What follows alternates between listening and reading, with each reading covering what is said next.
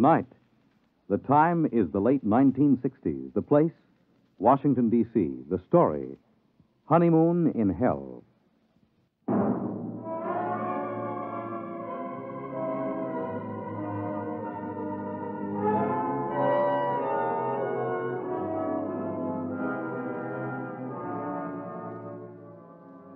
My name is Carmody. I'm a grade one cybernetics man at Western Alliance headquarters in the Pentagon. Used to be a rocket pilot, but they retired me at 27 after I made the third successful flight to the moon. As a grade one cybernetics operator, I get to work with Junior. Let me tell you about Junior. He was built in 1962, and he's the world's finest electronic brain, with the possible exception of Ivan, the Eastern Alliance brain, which was built on stolen plans and modeled after Junior.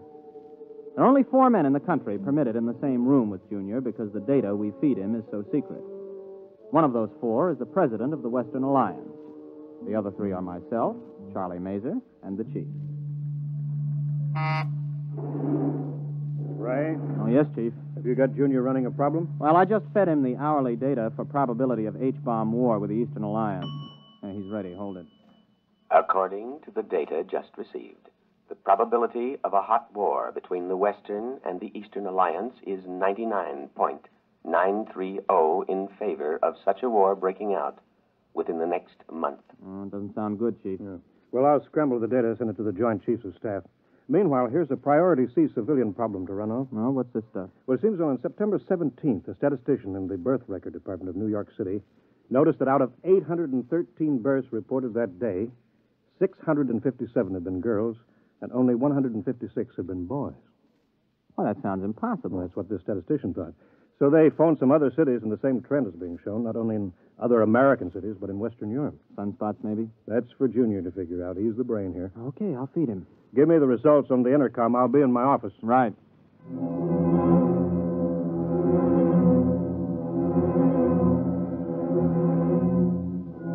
I didn't really pay much attention to the problem at the time. As a grade one operative, I was more interested in asking Junior questions on security, ballistics, missiles, rocketry, and so on. The Eastern Alliance would undoubtedly have traded three puppet governments and the tomb of Lenin to have an agent as a grade one operative. But I took the birth statistics and fed them in and waited. Uh, Junior, incidentally, responds to vocal stimuli. Speaks 12 languages. Got the answer, Junior? I have. Okay. The present statistics, if the trend is projected for another day, indicate a definite dangerous imbalance. If the trend is irreversible, unless new methods of reproduction are developed, the population of the United States and Western Europe will die out in one and one half generations.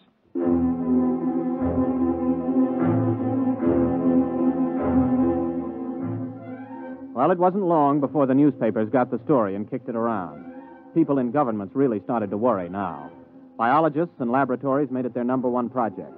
On September 29th, only 41 boys were born in the entire United States.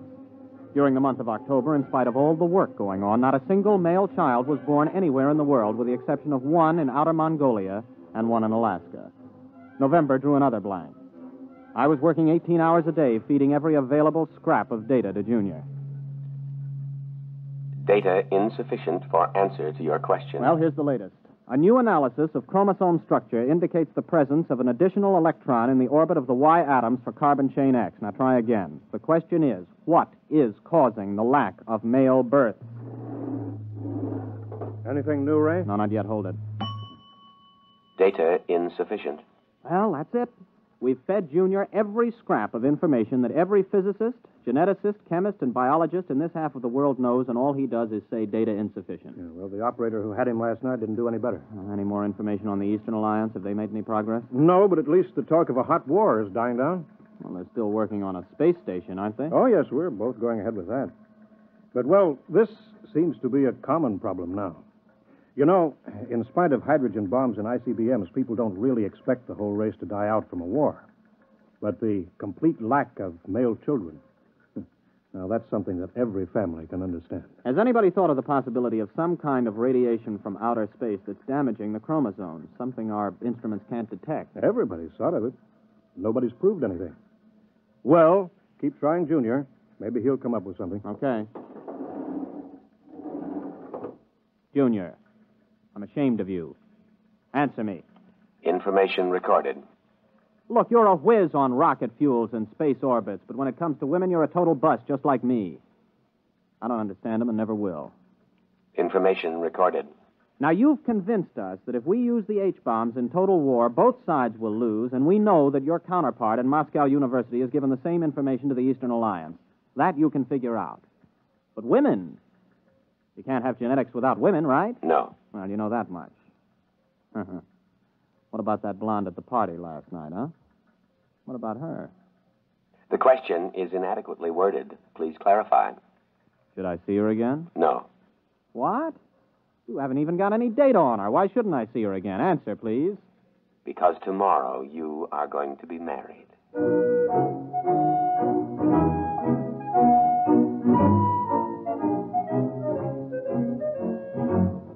Almost jumped out of my chair. Junior had gone stark raving mad. Besides, Junior never made predictions unless he had some definite data. There wasn't a woman on earth I had the slightest interest in marrying. I was a confirmed bachelor. So, unless somebody else had been feeding phony data into Junior, which was almost impossible since he already had enough data to check any flaw, well, I figured he'd blown a transistor. Come in. Oh, Chief, I was just going to tell you. That... Oh. Ray Carmody, this is the president of the Western Alliance, Captain Carmody, Mr. President. Glad to meet you, Captain. Oh, I'm, I'm very honored, sir. The president came here specifically to talk to you, Ray. To me? Captain Carmody, you have been chosen to have the opportunity to volunteer for a mission of extreme importance. Now, there's much danger, but not as much as on your previous trip to the moon. Previous trip, sir? And this involves another? The flight to the moon, Captain, will be the least important part of your mission. What's at stake here is the survival of the human race. Chief, perhaps you'd better explain the rest. Mm-hmm. Well, you know the problem, Ray. Last night when Mitchell was on, we fed Junior some new data, and we asked some new questions. For example, we asked if the lack of male birth could be due to some extraterrestrial enemies of man. Well, Martians? Possibly. We established that it's possible that Martians have landed somewhere on Earth and set up radiation that causes all children to be females. Junior said it was possible? Definitely. So we asked him the next question How could we correct such a situation? Mm-hmm. What did he say? Junior suggested that a married couple spend a honeymoon on the moon and uh, see if circumstances are different. Oh, I see. You want me to pilot them there? Well, uh, not exactly, Captain. Oh, good grief. You mean you want me to.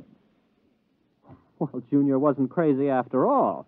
You asked Junior? He said I was getting married, but. Well, how do you know it was me they'd pick? He was asked the qualifications for the bridegroom. He recommended a rocket pilot who had already made the trip successfully. Well, there are four other pilots who've made that trip. You're the only single one. And since the woman must be a qualified pilot also, and uh, none of the wives are pilots, well. Uh, I assume I'm going to be married before we leave. Well, naturally. Oh. And uh, just how long do we stay on the moon? Until a child is conceived. Brother. Well, Captain, do you volunteer? I suppose so. I... Well, wait a minute. Uh, who's the other pilot? I mean, uh, the girl. she was flown in by fast rocket an hour ago and is waiting in Chief Reba's office. Now, shall we go?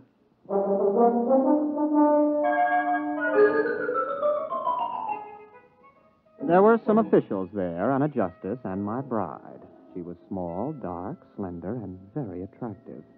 I was so busy looking at the way she filled out her uniform in just the right places that I almost overlooked the fact that she was dressed like an Eastern Alliance pilot. Captain Ray Carmody, may I present Lieutenant Anya Borisovna? You mean this is, I mean, uh, an enemy pilot? Pleased to meet you, Captain. Uh, yes, yes, I'm, I'm pleased to meet you. Uh, Mr. President, I. Captain, this marriage is being done on an international basis for important diplomatic reasons. Both alliances have been advised by their cybernetic machine that the experiment, if it is to benefit humanity, must bring all the major powers together. Miss Borisovna is 24, an experienced rocket pilot like yourself, and uh, quite attractive, if I do say so myself. Uh, thank you, Mr. President. Now, if you're both ready, the Chief Justice of the Supreme Court will perform the ceremony. Well, there's just uh, one thing, Mr. President. Um, Miss Borisovna? Would you marry me? Yes. And uh, you may call me Anya. Okay. uh, Mr. President, we're ready.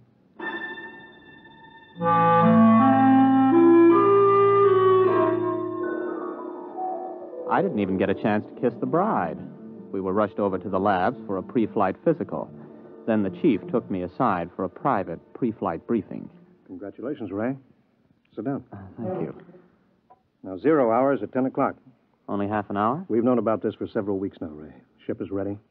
We've already fired 11 supply rockets and observed that they landed on the moon near where you're supposed to put down. One of them contains a heat proof, airtight, collapsible shelter where you'll live. Uh huh. Oh, what's the ship like? R 26, much better than the R 24 that you flew there. Last time, Ray, you took four and a half G's for seven minutes. This time you'll get by with three G's and have 12 minutes to accelerate to Brenchless. Now, you'll have enough fuel for the trip there. One of the supply rockets has your return fuel. Oh, uh, oh yes. We put in a case of scotch and a uh, case of vodka, uh, just as an icebreaker. Uh, before we go, Chief, what would you have done if I'd turned this job down? The cybernetics machine predicted that you wouldn't. Besides, we could have had a hundred volunteers an hour after seeing Anya Borisovna. That gal is moonbait. Uh, careful. You're speaking of my wife.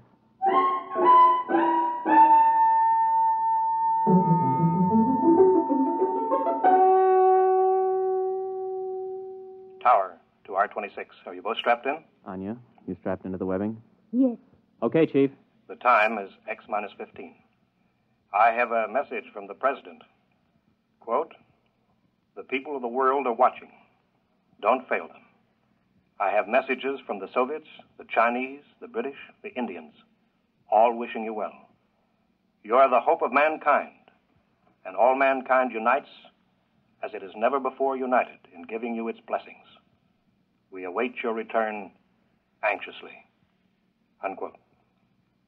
X 5, 4, 3, 2, X minus one. Blast off.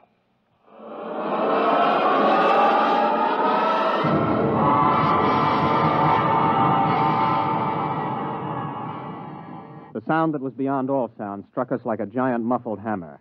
It built up until we weighed 480 pounds, pressed flat against the webbing. Sound and pressure went on and on interminably. Then we reached Brenchless, free of the pull of Earth. I blacked out. When I came to, a lovely face was bent over mine, two dark eyes smiling at me. Are you all right, Ray? Oh, yeah, yeah. Ah, are we weightless? Yes, yes. I shut off the fuel. We, we won't need it until we land. Oh, thanks. Ah, if you would teach me, I could help you land the ship. Oh, I've never been to the moon. Well, sure. Just uh, slide over here to the control panel. All right. like this? Oh, that's fine. Mm. Uh, we've got about four hours Earth time to get acquainted. Uh, uh, have you uh, known many women?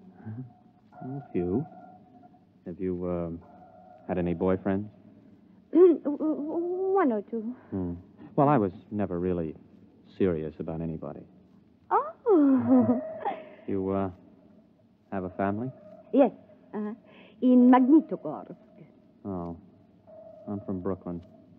Uh, how, how long have you been a rocket pilot? Oh, since I was 18. Uh, I'm 27. I'm 24. I learned rockets when I was 18 also. Oh. Well, uh, we better concentrate on the ship just now. Later on, we can talk about ourselves more. Meanwhile, though, I uh, hope you're not sorry. I mean, about this business. I guess it isn't very romantic. I'm not sorry.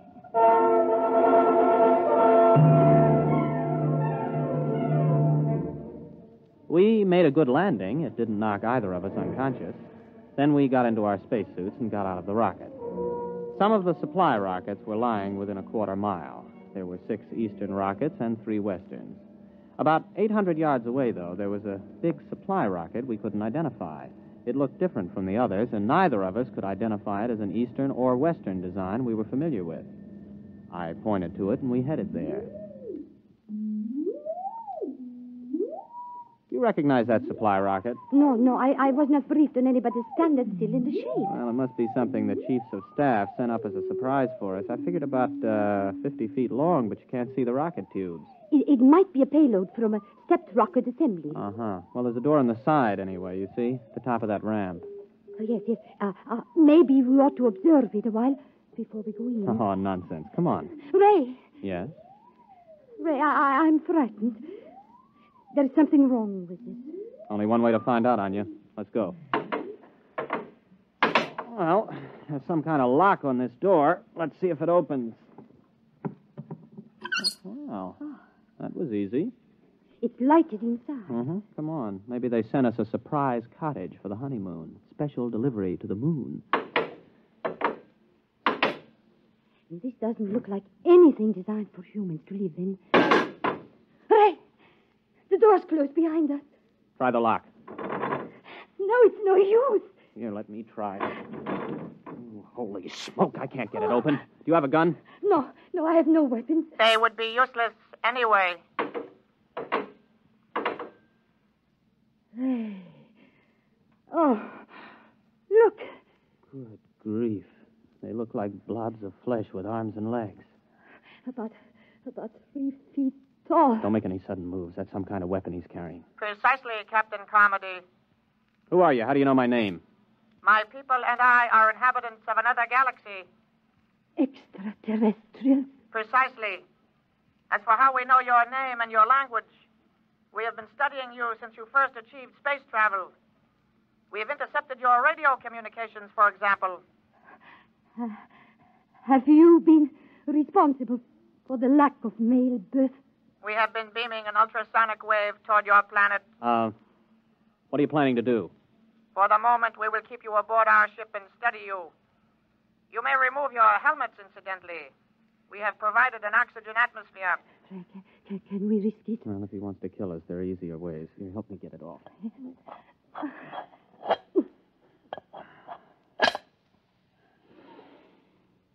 Well, it breathes pretty good. Keep your helmet with you. You may make yourselves comfortable. We will bring you food and liquid from your supply rockets.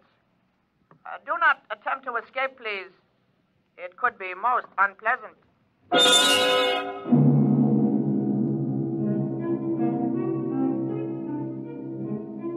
Next few days were like a nightmare.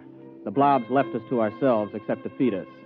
Of course, it had its funny side, too. The creatures knew we needed liquid, but they couldn't distinguish between water and whiskey. For the first two days, we had nothing but whiskey to drink. For obvious reasons, I don't remember much about it, but uh, we did begin to sing to each other. We also got to know and like each other. I got to learn some Eastern songs.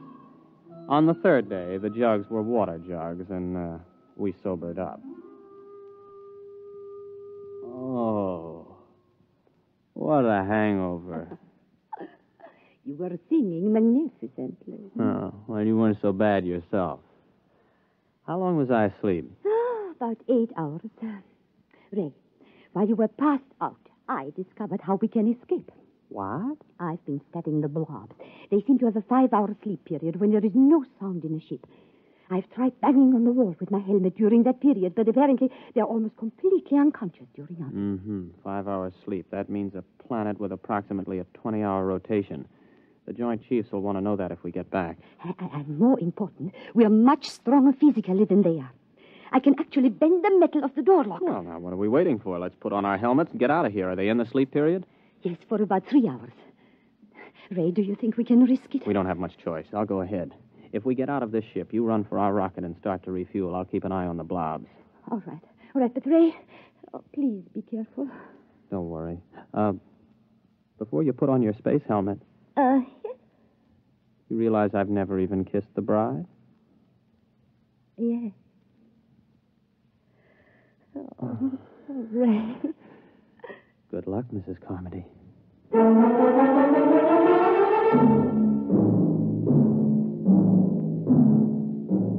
By the time I reached the ship, Anya had the rockets refueled. I jacked up the tail fins and we headed for space. When I checked our screen to see if the blobs were after us, we detected their ship heading toward the outer galaxies away from Earth. The rest was easy. In less than 24 hours, I was in the office of the president of the Western Alliance making a full report. The Eastern ambassador was there, along with the chief. Captain, this story is incredible. Well, I'll be glad to submit to a lie detector, Mr. President. There's one on its way. Our embassy is questioning Miss Borisovna right now to see if her story is similar. Are you positive they were extraterrestrials? I mean, couldn't they have been, well, Easterners? If Easterners are three feet tall, without bones, and look like little green blobs of protoplasm.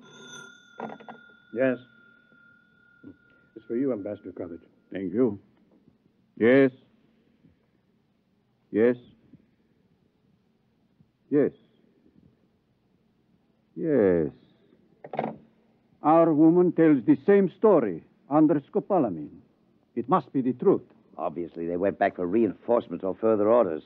If and when they get back, we've got to be ready for them. My government stands ready to cooperate fully. Excellent. We'll have to build a joint space station, get to the moon, and fortify it jointly. If we pool all scientific knowledge, military data, we may be able to do it. Our propaganda ministry has already received orders to put everything into reverse gear. Carmody, I don't know how the world can ever thank you and Miss Borisovna.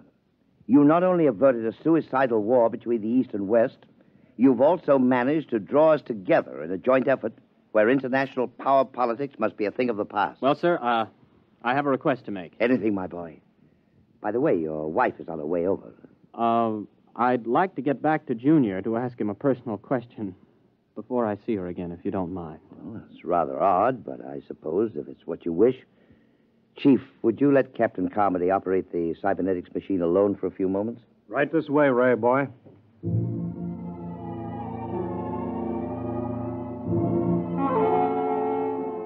I waited until I was alone with the big cybernetics machine. One green dial glowed malevolently as if the instrument was aware of my presence. I opened the input channel and spoke. Hello, Junior. This your old friend Ray. Give an appropriate answer. Hello, Ray. Now then, you remember Miss Borisovna, the girl who was selected for me to marry. Item one, she's going to rejoin me in a short while. Item two, I've fallen in love with her. Item three, before we actually live together as man and wife, I want to know something. Question Does she love me? Yes. Oh, oh, that's my boy. Now then, just one more item before I say so long and take a honeymoon. Tell me, Junior, why do I have a hunch that those blobs from outer space will never be back? Answer, please.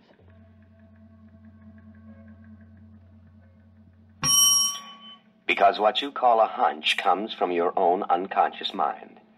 Your unconscious mind knows that the extraterrestrials do not, and never did, exist. What? Do you wish the answer repeated? I wish you to tell me why I saw them, why Anya saw them. Neither of you saw them. Amplify that answer, Junior, or I'll smash every tube in your memory bank. Since I am an AC 7 cybernetics machine, I have no circuit reactor for threats of destruction of my tubes.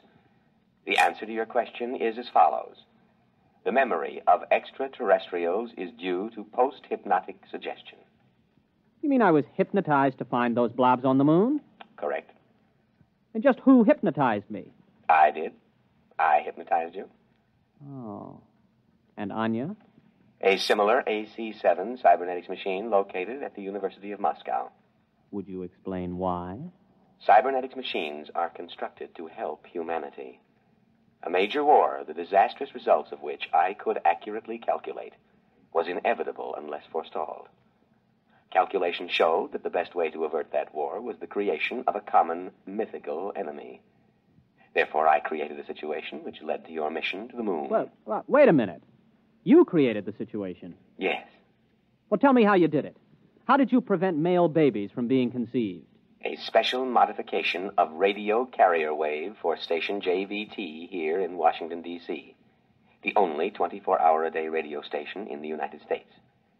The modification is not detectable by any instrument known to man at present. Well, how could you do that? You can't leave here. One year ago, you yourself fed me a problem the design of a new cathode tube for radio station JVT. I modified the tube to send out a wave that would prevent male children from being conceived. So all we have to do is eliminate that tube. It will not be necessary. The tube was designed to burn out exactly 15 minutes ago. And the same thing happened in the Eastern Alliance? Precisely. Two properly constructed machines will always arrive at the same answer to the same problem. Oh, Junior, I gotta hand it to you. But why let me in on it? It is to the interests of humanity to know the truth. It is to your own interests. And you will tell no one because of the type of individual you are. Mankind will work together now to reach the stars. Uh, one last question, Junior. If Anya and I were just hypnotized to think all of that was happening up on the moon, what really did happen up there? I waited a while, but Junior was silent. It's the first time he ever pulled anything like that. However, I'll swear that I saw that green eye of his wink at me.